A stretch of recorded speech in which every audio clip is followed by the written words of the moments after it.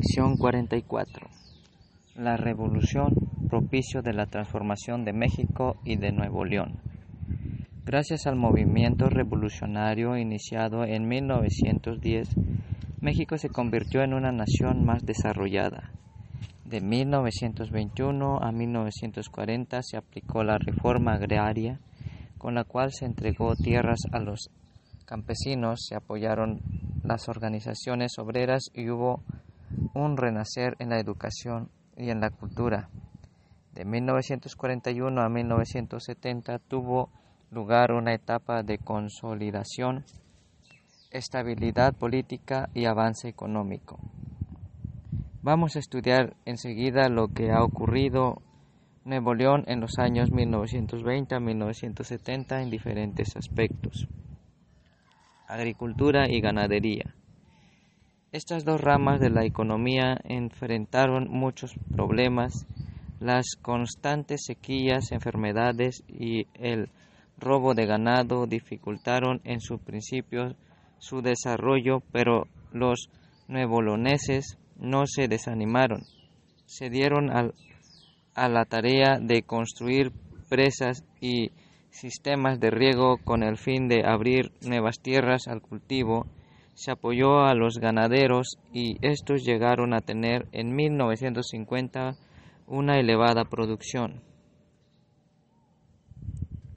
Industria.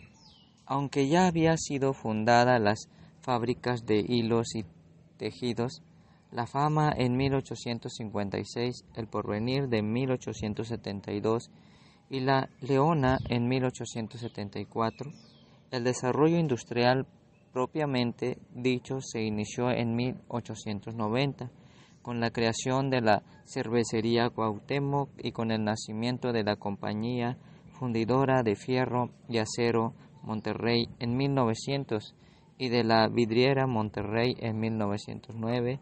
Luego vino el establecimiento de gran cantidad de empresas como hojalata y lámina. En 1942 actualmente Nuevo León es un estado con un gran potencial industrial. Ocupa el cuarto lugar como productor mundial de cemento y el primero en vidrio en América Latina. Destaca también nacionalmente como productor de cerveza, acero, aparatos de aire acondicionado, etc. Comunicaciones y transportes. Un aspecto que permitió el desarrollo económico de Nuevo León y del norte de México fue el de las comunicaciones y los transportes. Conforme pasa el tiempo, los nuevo leoneses aumentaron los recursos destinados a estas actividades.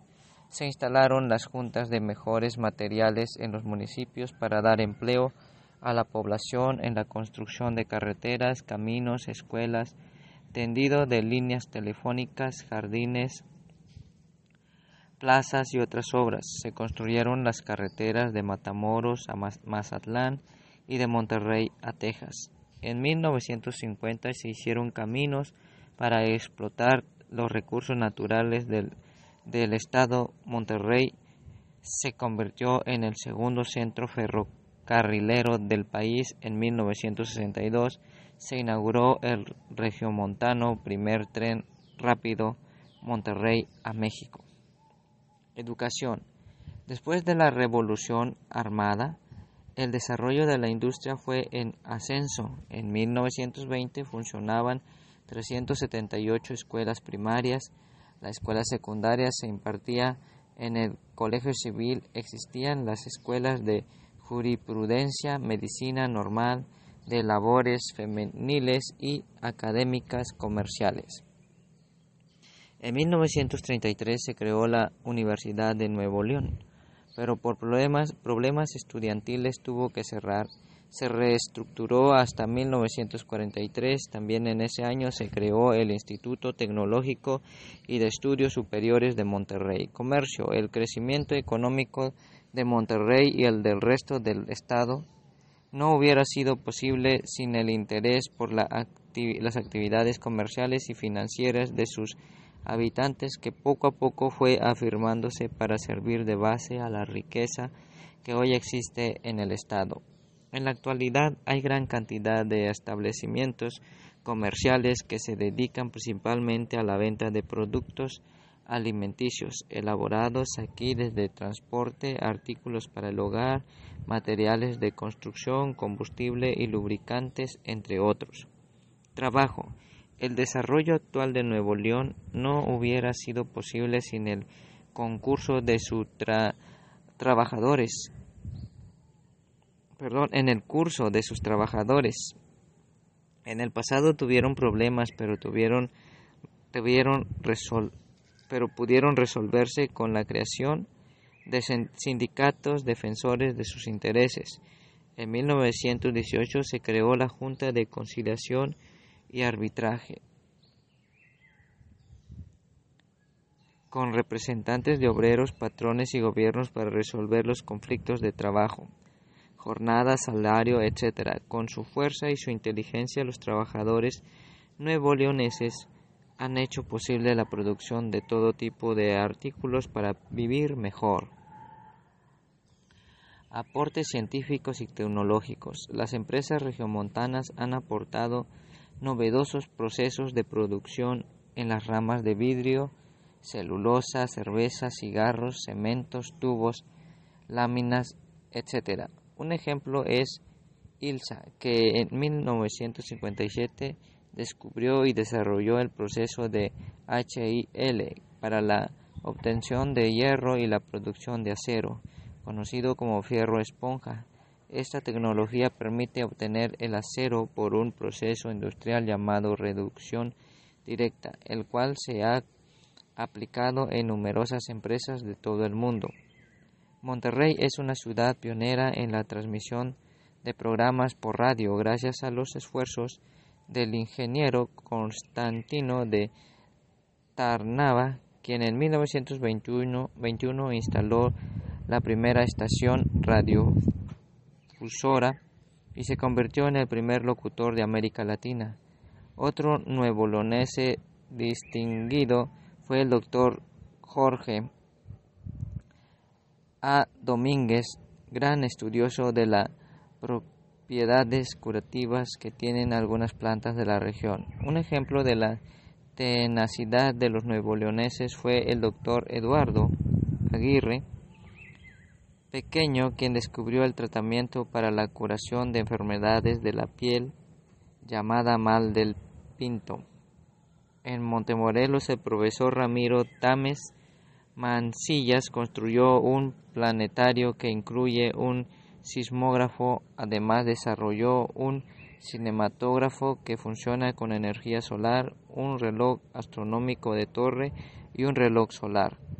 En nuestro estado, la Universidad Autónoma de Nuevo León y el Instituto Tecnológico de Estudios Superiores de Monterrey fomentan la investigación científica y tecnológica en Nuevo León existen dos instituciones que promueven la, la, relación del niño con la ciencia y el Centro Cultural Alfa y la Casa de la Tecnología. Aportaciones culturales. En el campo educativo se recuerda con respeto y gratitud a los maestros Miguel F. Martínez, Serafín Peña, Pablo Olivas, Germán Almaras, Pino D. Ordóñez y Moisés Seans. En la medicina sobresale el doctor José Leuterio González, hijo adoptivo de Nuevo León. A nivel artístico, con gran cantidad de escritores, pintores, compositores y artistas locales han destacado internacionalmente con sus obras. Ejemplo de estas son Belisa, Río de Jesús García, Armando Villarreal, notables músicos, compositores Alfredo Ramos Martínez y Federico Cantú, que son destacados pintores. La música regional queda dignamente representada por las inolvidables melodías de las montañeses del Álamo y de Antonio Tanguma. Mención especial merecen los historiadores de Nuevo León, entre quienes destacan José P. Saldaña e Israel Cavazos Garza. Asimismo, nuestro estado cuenta con fiestas tradicionales como las de Villaseca en Linares, del, del Señor de Tlaxcala en Bustamante, la quema del Candelilla en Higueras o la popular explosión ganadera e industrial en Guadalupe que atraen no solo la población del estado, sino visitantes nacionales y extranjeros.